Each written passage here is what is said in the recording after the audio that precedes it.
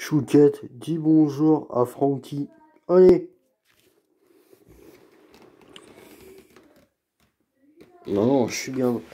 Laisse-moi dormir. Allez. là. C'est bon. Ah, t'es pénible, Julien.